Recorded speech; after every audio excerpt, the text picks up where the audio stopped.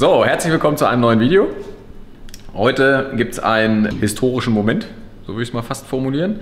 Und zwar haben wir vor, heute die Position der Turbolader bei dem Lamborghini zu bestimmen. Klingt erstmal einfach, wir haben uns allerdings schon Tage den Kopf drüber zerbrochen, werden uns das in den nächsten ein, zwei Stunden mit Sicherheit noch weiterhin tun. Aber ich bin guter Dinge, dass wir am Ende vielleicht in diesem Fahrzeug zwei Turbolader haben. So, ähm, erstmal zu meiner Rechten. Moin. Das ist Tom. Äh, viele von euch kennen ihn bestimmt schon irgendwie aus dem Hintergrund von Instagram, wie auch immer. Äh, praktisch hilft Tom mir aber immer viel. Ihr werdet ihn jetzt öfter sehen, weil das ist nämlich derjenige, der hier ziemlich viel schweißen wird. Sowohl Alu, Edelstahl. Titan. Komm mal hier ran und stell ihn da hinten in den Schatten, ey. Wir werden auf jeden Fall ein bisschen schweißen hier. So, jetzt eigentlich wollten wir mit diesem Video schon vor drei Stunden anfangen. Hat natürlich mal wieder nicht funktioniert, weil wir drei Stunden drüber gegrübelt haben, wie die Turbos hier hin können. Erstmal kleinen Zwischenstand. Ich habe das Ganze mal ein bisschen weiter zusammengebaut. Nicht wundern, dass dieser Träger hier noch so äh, dreckig ist, weil ich war mir da schon ziemlich sicher, dass der eh nochmal umgeflext, umgeschweißt und so weiter wird. Deswegen ist der noch nicht gepulvert wie der Rest. Die Krümmer hatten wir ja im letzten Video gezeigt. Ähm, die bleiben ja original. Das heißt, wir bauen jetzt nur die Verbindung von dem Krümmer zum Turbolader. Zum Thema Turbolader nochmal. Das waren jetzt ja hier diese, sind immer noch, ich sag jetzt mal, die Musterlader von TTE. Einen linken, einen rechten. Das heißt, wir können alles komplett symmetrisch bauen. So ist zumindest der Plan. Ob das Ganze am Ende funktioniert, ist eine andere Sache, weil man denkt immer, da ist so viel Platz in dem Motorraum, ist es aber eigentlich nicht. Das wird dann doch schon relativ schnell relativ eng. Mein Wunschplan war es eigentlich, die beiden Turbolader so da reinzumachen. So finde ich, sieht das am geilsten aus. Damit man dann wirklich mit dem richtigen Abstand die beiden Lader so nebeneinander hat und wirklich einfach nur mit einem geraden Druckrohr in die Drosselklappe reingeht. Das Coole ist, diese Turbolader sind später Polygon, das heißt zwischen Verdichterrad und Welle ähm, ist ein Dreieck auf der Welle. Also die, das Verdichterrad ist formschlüssig mit der Welle verbunden. Das heißt, wir brauchen kein Pop-Off-Ventil, weil sich das Rad auf der Welle nicht verdrehen kann. Pop-Off-Ventil ist normalerweise dafür da, Drosselklappe geht zu, die Luftmasse muss irgendwo hin. Wenn kein Pop-Off da ist, würde ruckartig das Verdichterrad abbremsen und sich auf der Welle verdrehen. Polygonverbindung kann das ab. Das heißt, wir können später ohne Pop-Off fahren. Das heißt, mein Traum war es, dass wir hier eine relativ schöne, gerade Verbindung haben. Wenn man von hinten drauf guckt, dass alles schön symmetrisch aussieht. Und einfach clean, cool, geil aussieht. Klingt so schön. Klingt einfach, ne? War auch einfach, bis wir diesen Tank eingebaut haben. Dann haben sich jegliche Pläne von uns nämlich wieder zerschlagen. Äh, so, nee, ein, noch einmal ein ganz anderes Thema.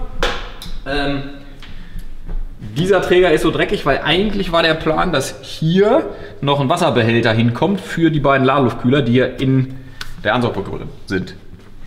Und dann habe ich aber kurz vorhin noch mal mit Herrn Krämer gesprochen und der kam auf die glorreiche Idee, wir könnten ja auch den Wassertank einfach nach vorne bauen. Eigentlich simple Sache, macht auch Sinn, weil vorne keine Temperatur, vorne hat man genug Platz, vorne ist das Auto auch leichter, das heißt ein bisschen Gewicht kann auch nicht schaden. Habe ich irgendwie null dran gedacht, ist aber eine gute Idee, werden wir jetzt auch so machen. Das heißt, theoretisch haben wir hier Platz ohne Ende, weil Wasserbehälter kommt nach vorne. So, dann haben wir diesen Öl-Catch-Tank reingemacht, beziehungsweise es ist in dem Fall kein Öl-Catch-Tank, sondern es ist richtig der Ölsammelbehälter, Vorratsbehälter, wie auch immer, von der Trockensumpf. Das heißt, die Trockensumpfpumpe saugt von diesem Behälter ab. Das heißt, hier ist das gesamte Ölreservoir drin. Und nicht unten in der Ölwanne, sondern hier drin. Das heißt, die Ölwanne ist richtig schön flach und das Öl wird direkt abgesaugt. Ähm, hier gibt es ein paar Italiener, die bestimmt ein bisschen Entwicklung reingesteckt haben und der Tank sieht genau so aus, wie er hier aussieht und das sollten wir auf jeden Fall auch beibehalten. Weil zusätzlich ist hier oben noch die Kurbelgehäuseentlüftung drin. Das Öl, was von dem Ölkühler zurückkommt, geht hier oben rein. Dann sind da noch Schottwände drin, dass das fließende Öl natürlich entschäumt wird, weil das wird mit Sicherheit ein bisschen schäumen, soll aber unten, wenn es von der Pumpe angesaugt wird, natürlich schaumfrei sein. Und ja, steckt ein bisschen Technik hinter, die sollten wir so lassen. Und genau deswegen haben wir gerade Bauchschmerzen und schlechte Laune dann bekommen, weil, wenn man sich jetzt vorstellt, wir wollen diesen Turbolader, wollten den eigentlich ziemlich genau so 10 cm weiter nach vorne. Wird nichts. Niemals. So, wird nix. würde ich jetzt nicht sagen, aber es wird auf jeden Fall so nichts. Nicht ohne Behälter neu zu bauen, ne? So, Behälter neu bauen kommt nicht in Frage. Das ist relativ einfach gesagt. So, aber was in Frage kommt, ist, den natürlich ein bisschen umzugestalten. Das heißt, wir setzen da einfach mal die Flex an. Nein, das ist einfach nur der Peilstab hier. Das heißt, das ist eigentlich nur ein Rohr, was wirklich komplett bis unten durchgeht. Ähm, da sehe ich wenig Probleme drin, dieses Rohr einfach irgendwo anders zu positionieren. Und der Halter kann genauso weg. Diese beiden runden Teile, die müssen allerdings schon irgendwo Sag so bleiben. welche unten? Dies und dieses. Hier oben geht, wie gesagt, die Kohlengehäuseentlüftung dran. Das heißt, das geht dann später da rein und hier kommt quasi das ganze Öl von dem Ölkühler zurück und wird dann kreisrund in den Behälter wahrscheinlich nach unten geführt. So, das heißt, unser Plan ist es eigentlich, man sieht ja schon, wo er ungefähr landen muss. Das ist ungefähr die Mitte. Das heißt, der Turbolader wird ungefähr so, so und dann halt nochmal 5 cm weiter nach vorne. Das wird mit der Ansaugung bestimmt kein Traum, ist aber hier nicht so schlimm. Würde ich in Kauf nehmen, wenn die Ansaugung da so eine kleine Beule bekommt.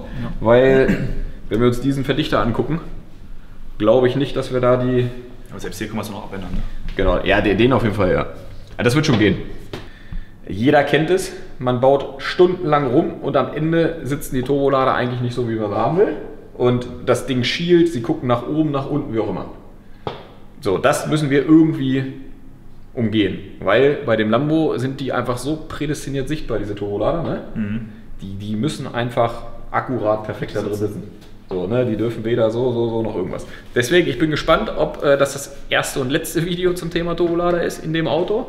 Äh, ob wir nicht am Ende alles flexen und wieder neu machen. Ich würde es nicht ausschließen, aber kann passieren. So, deswegen überlegen wir uns mal, wir haben ja ein paar Sachen haben wir fest vorgegeben. Diesen Abstand können wir relativ einfach einfach ausmessen. Das heißt, wir können auch relativ schnell errechnen, wie der, beiden, wie der Abstand der Turbolader sein muss. Genau. So, das heißt, ich würde vorschlagen, wir machen jetzt folgendes. Wir nehmen uns hier so ein schönes Edelstahlprofil, brutzeln das im richtigen Abstand drauf. Dann haben wir nämlich immerhin schon mal gegeben, dass die Turbolader A parallel zueinander sind und B auf der gleichen Höhe sind Genau. und wir sie passend verschieben können. Und dann müssen wir gucken, ob das da ungefähr irgendwie reinpasst. Wir zer zerflexen den Tank. Du kannst ja Alu schweißen, falls es schief geht. Und ähm, dann halten wir das Ganze mal rein.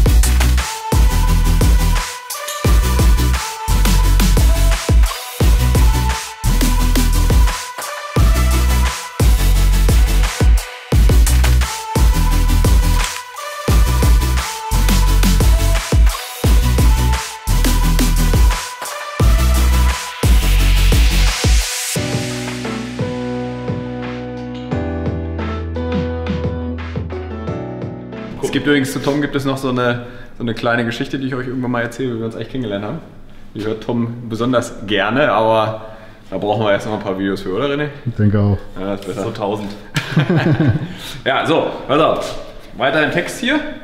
Ähm, wir haben V-Bandringe rangemacht, weil jetzt ist nämlich das Geile. Jetzt können wir sowohl Abgasgehäuse als auch Verdichtergehäuse frei verdrehen. So, weißt du, viele, man hätte jetzt auch irgendwie einen Halter an Mittelgruppe, wie auch immer machen können, ne? Aber so können wir wirklich alles so hindrehen, wie wir es gerne hätten. Oh, das ist ganz schön schwer, das ist nicht so meine Liga hier. so. Und jetzt können wir das Ganze nämlich perfektico ausrichten. So, jetzt musst du mal einmal von hinten gucken, wie wir gerade so von der Höhe her sind. Hast du? Ja, ich hab's.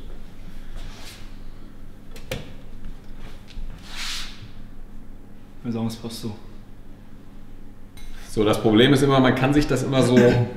Es sieht zwar alles immer gerade und von der Höhe her passend aus, am Ende passt es aber nicht. Deswegen haben wir mal schnell so grob zusammengetaped, was hier später noch oben drauf kommt, damit man das ein bisschen besser bewerten kann. Nee, ist so hoch. Geht nicht tiefer, ne? Ja, wir kommen hier schon gegen den Trockensumpftank. So, wir müssten ungefähr eher auf die Höhe. Das ist natürlich da mit der Ansaugung. Dann kommen wir schon so weit nach hinten. Aber guck mal, damit wir da noch eine Ansaugung hinkriegen würden, müssten wir bestimmt noch einen Zenti nach hinten. Ne? Mhm. Ich würde sagen, wir probieren das so hier mal ranzumachen.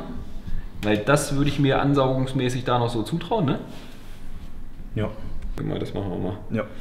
Okay. Also kleine Adapter da zwischenbauen. Vorne ein bisschen runter. Ähm, ich würde sagen, wir müssen leider Ein Stück kürzen. genau, einen Zenti an beiden Seiten abschneiden.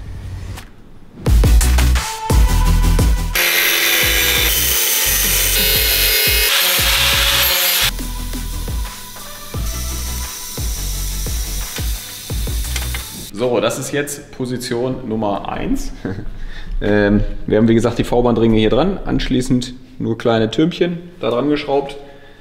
Können jetzt 100% sicher sein, dass sie A auf der gleichen Höhe sind, dass sie den richtigen Abstand zu Drosselklappen haben und vom Winkel her konnten wir sie auch noch kippen, als es noch nicht durchgeschweißt war. Und jetzt können wir uns das Ganze mal angucken.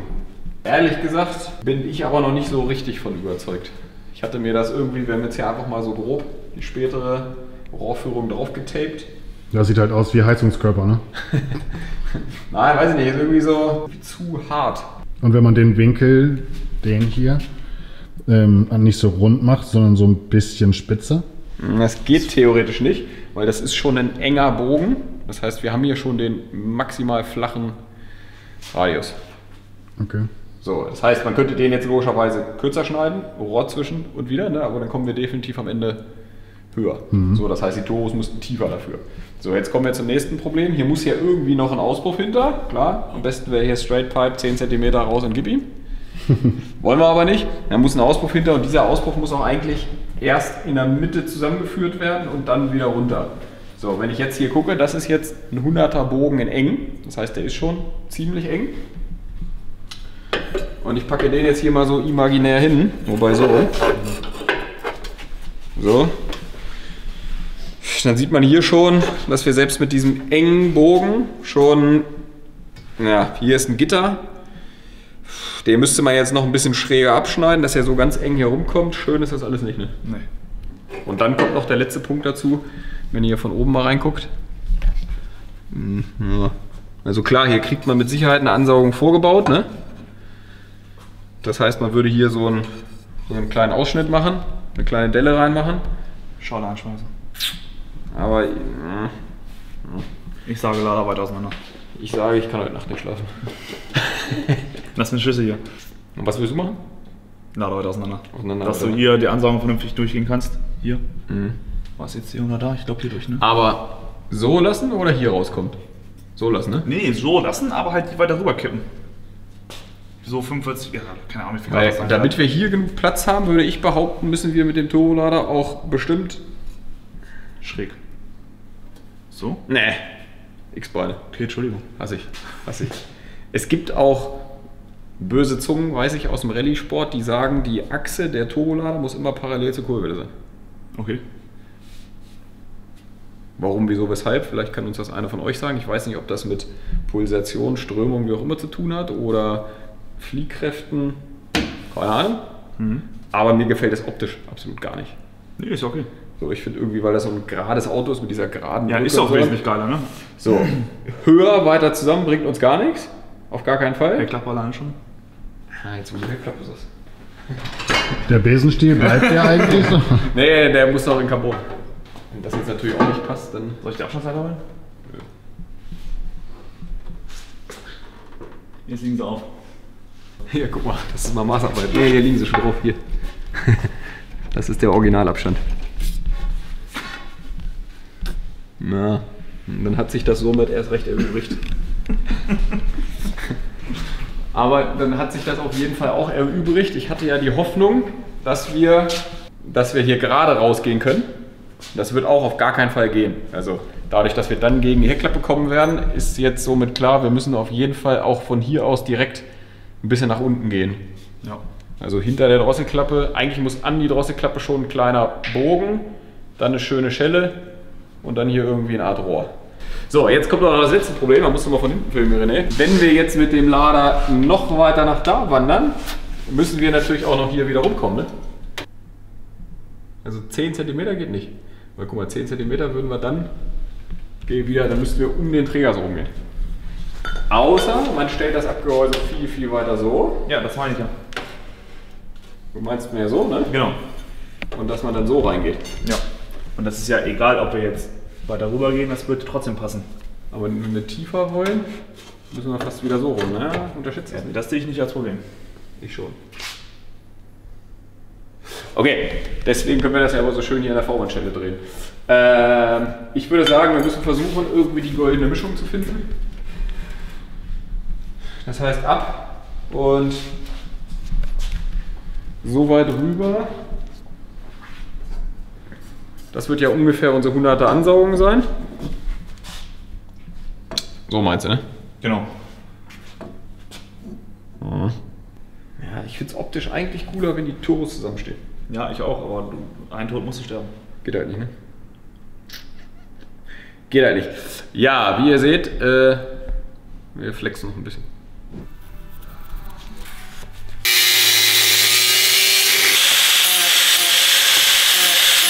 Ja, wie schon prophezeit, ähm, im ersten Anlauf klappt das mit Turboladerposition meistens niemals. Ist dann aber doch immer ganz gut, wenn man sich einen Halter und eine Leere baut, weil wenn man nämlich erstmal anfängt, das Rohr zu bauen, dann hat man die Turbolader in der Position und weil man meistens dann zu faul ist, alles neu zu bauen, ähm, lässt man es dann doch so. Ne? Ja. Äh, deswegen war es hier auf jeden Fall goldrichtig, erstmal die Turbolader in Position zu bringen und so sieht das jetzt auf jeden Fall schon besser aus. So, wir zeigen euch das mal. Wir haben hier an dem Träger schon mal so ein bisschen Platz gemacht.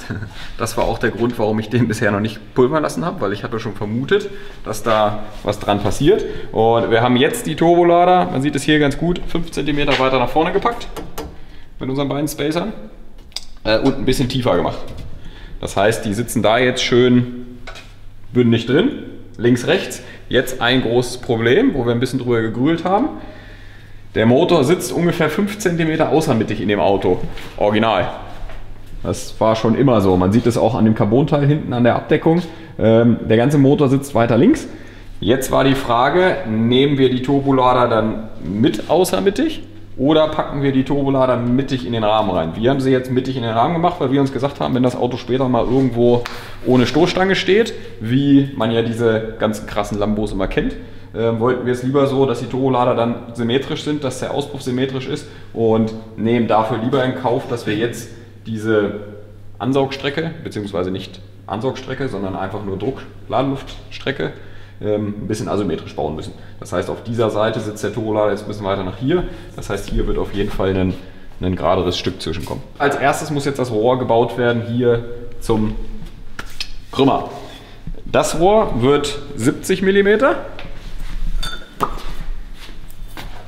weil aus dem Krümmer nämlich genau 70 mm rauskommen. Da haben wir ja damals, das hatte ich ja schon gezeigt, vor Jahren schon eine V-Bandschelle ran gemacht. Das heißt, da geht jetzt genau ein 70er Ring drauf. Und das Coole ist, die Abgasgehäuse hat TTE dementsprechend auch genau mit einem 70er Ring gemacht. Ähm, Das heißt, wir bauen jetzt den Auspuff, beziehungsweise eigentlich ist es ja nicht Auspuff, ist eigentlich Krümmer in 70. Jetzt ist das Coole, mit unserem Ring, den wir angeschweißt haben, können wir das Abgasgehäuse jetzt verdrehen, wie wir lustig sind und können jetzt gucken, wie wir hier am besten mit dem, mit dem Rohrbogen anfangen, weil da hinten in das Loch müssen wir hin. So Tom, du darfst auch ruhig mal was sagen. Alles gesagt? Nachdem hier schon so viel Flex und Schweiß und so weiter. Also hier, glaube ich, sieht das ganz gut aus. Ne?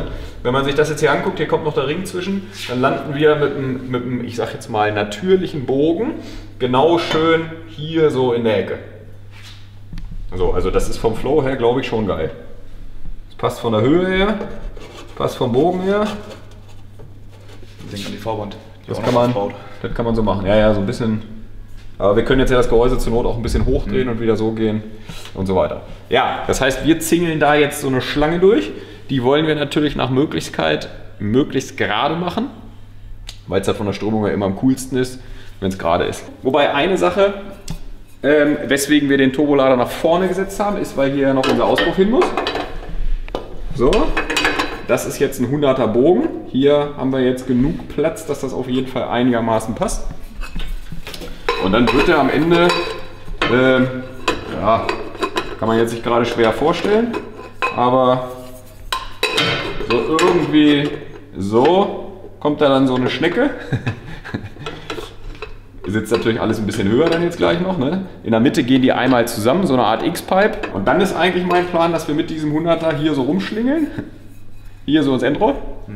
Und das Wastegate quasi von hier auch da reingeht. Ja. Das wäre geil, ne? Das ist halt auch die leise Variante, ne? Vor allem 2x100 ist halt auch dann echt männlich. Ne? Da ist allerdings noch die Frage, ob wir das Ganze in Alu machen Bisher funktioniert es unter Limo und bei Marius und so auch, ne? Äh, oder halt Titan. Hast du schon Titan schon mal geschweißt? Ja, so. Aber jetzt nicht so richtig intensiv. Okay. So müssen wir Schweißer, Müssen wir halt mal zwei Stunden noch. Schweißer Igor nochmal anrufen. Dann muss er nochmal kurz rumkommen und nochmal uns das Titanschweißen mit dem Schweißgerät zeigen. Okay, so. Das heißt, wir machen jetzt folgendes. Tom hat schon vorbereitet. Ähm, einfach den 70er Bogen mal in verschiedene Stücke geschnitten, dass man einfach mal ein bisschen, ein bisschen ranhalten kann. Und ja, jetzt würde ich sagen, müssen wir von vorne anfangen, bis wir dann irgendwann hier hinten grob auf die Flucht kommen. Ja. Wie ist das beim Schweißen? Erst anpunkten alles? Ja. Vorher anphasen. Anphasen heißt, Hier am liebsten so eine schöne 45er Faser machen. wofür ist sie?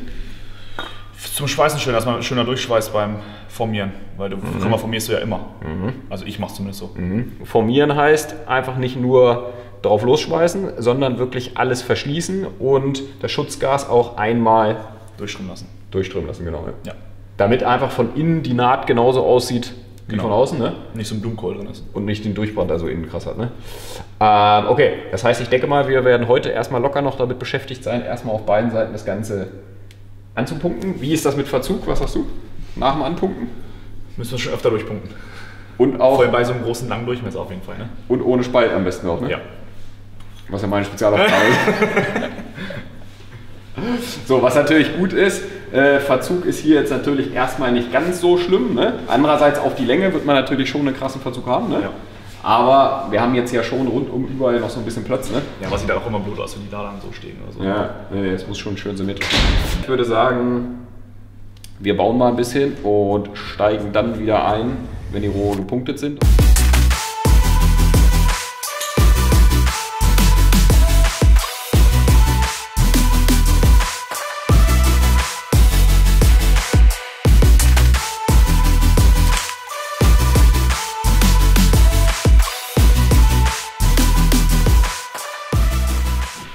Hat doch ein paar Stunden länger gedauert, aber die beiden Rohre sind soweit angepunktet. Ja. Mehr auch nicht. War wieder doch gut Action, das dann so hinzubekommen, ne? Aber das Ergebnis gefällt mir persönlich richtig gut. Wir haben jetzt die, die, die beiden Gehäuse stehen jetzt wirklich genau gerade. Also die Gehäuse sind so nicht verdreht. Das heißt, wir gehen wirklich mit einem 90 Grad Bogen rein, auf beiden Seiten mit 45 um die Ecke und haben dann wirklich gerades Rohr nach vorne und haben dann schön parallel auf beiden Seiten nur einmal diesen Bogen über das Hitzeblech gebaut. Sieht eigentlich wirklich nach kaum Schnitten und Arbeit aus, hat sich aber wirklich gezogen, weil wir wollten es dann doch halt schön parallel da drin haben und so weiter. Ne? Braucht man immer doch einen Tucken länger. Aber ich glaube, das kommt schon dem Optimum recht nahe. Ne? Ich find's geil. Ich glaube auch, das passt so. Ist natürlich ein männliches Rohr, ein 70 mm den Krümmer, ne? Doppelt. äh, jetzt auf jeden Fall können wir geil den Auspuff bauen. Weil hier ist jetzt auf jeden Fall genug Platz, ne? Ansaugen hat jetzt Platz, hier in der Mitte haben wir Platz. Also da ist jetzt schon rundum richtig viel Platz, ne? Und was ich richtig cool finde ist, dass am Ende, das kann man sich jetzt noch schwer vorstellen, aber am Ende wird dieser Motorraum ziemlich clean bleiben. Weil dadurch, dass wir den Wassertank jetzt ja vorne haben und so, wird das schon Ja. ja ein bisschen, bisschen Dash, ne? Wird das schon sportlich. Ja, ähm, als nächstes schweißen wir die Rohre durch. Das ist allerdings nochmal eine größere Sache, weil ähm, du wolltest sie erst noch schleifen. Ja. Schleifen, abdichten, formieren, schweißen und so weiter. Das seht ihr im nächsten Video. Genauso geht es dann weiter mit Thema Auspuff und Wastegate. Da gibt es nämlich auch noch verschiedenste Möglichkeiten, wie wir jetzt hier das Wastegate positionieren können. Und ja, dann geht es hier Step für Step weiter. Ich würde sagen, wir nehmen noch einmal kurz dieses komplette Paket raus. Das reizt mich gerade. Ja, ausgebaut sieht man jetzt nochmal richtig schön, wie symmetrisch das Ganze ist. Dafür, ihr dürft nicht vergessen, es kann nicht 100% symmetrisch sein, weil der Motor, wie gesagt, ein bisschen weiter links sitzt. Und das Getriebe auch nicht komplett symmetrisch aufgebaut ist. Und dafür, glaube ich, ist das schon wirklich gut geworden. Ja. Gefällt mir. Mir auch. Jetzt nochmal schleifen, dann sieht's besser aus. Äh, wir zeigen euch jetzt hier nochmal kurz. Hier seht ihr das, was wir meinten mit, mit Anphasen. Ähm, es sieht aus, als wäre hier ein Spalt zwischen, ist aber gar kein Spalt. Das ist wirklich rein die Phase, die jetzt Tom beim Schweißen richtig schön auffüllen kann. Genau. So, viele von euch werden bestimmt noch fragen, was für Material das ist. Das ist ganz normales Edelstahl 4541. Ganz normal nicht. Das ist schon mal ein Step besser als das, ich sage jetzt mal Wald- und Wiesen Edelstahl 4301. Genau. Ist theoretisch aber für die Temperatur nicht geeignet. Eigentlich. Weil normalerweise müsste man ein 48er Material nehmen. Das ist nämlich für 1000 Grad gedacht. Bei den 45, 41, glaube ich, knapp über 1000 Grad, war schon etliche Male Diskussion in den ganzen Foren, ähm, fängt das an, theoretisch sich loszuglühen. Aber unsere Erfahrung zeigt, dass bis dieses Material wirklich 1000 Grad hat, haben wir ganz andere Sorgen. Vor allem der Durchmesser, Ethanol. Genau, Ethanol hast, ist 70 mm. Ganz wichtig dabei, ich, ganz wichtig dabei ist, glaube ich, dass wir die Lader hinten vernünftig abstützen. Genau. Dass die nicht mit dem ganzen Gewicht an dem Krümmer hängen, sondern am besten irgendwo hier so Mhm. zwei richtig schöne Halter bekommen, dass die fest stehen und dann glaube ich, werden wir da kein glaub ich auch nicht. Weil bei mir in der Limo ist das gleiche Material drin, da war schon richtig Temperatur hinter. Also Temperaturen, wo wir hier niemals hinkommen werden, weil der Motor einfach gar nicht so krass belastet wird. Ähm, und da hat das auch immer funktioniert. Ja. So, deswegen sage ich, sind wir mit dem Material auf jeden Fall gut aufgehoben. Und, jetzt kommt es auch noch, ich hätte gerne natürlich auch ein 48er Material genommen. In 70 mm Durchmesser gibt es aber keine Bögen. Okay. Zumindest nicht bei den Lieferanten, die wir so haben. Das heißt, wir hätten angefangen und hätten kleine Stückchen geschnitten. Ja, das ist auch blöd. Dann wären wir in zwei Wochen noch Vor beschäftigt. beste Schweiß hat es keiner. So ungefähr. Deswegen alles top. Ich hätte selber gar nicht gedacht, dass wir es dann doch so symmetrisch gebaut haben. Weil wir saßen jetzt nicht und haben hier die einzelnen Stücke gemessen. Ne? Nee. Ich würde sagen, das reicht für heute. War eine kurze Nacht. Und ihr könnt euch aufs nächste Video freuen. Ciao. Ciao.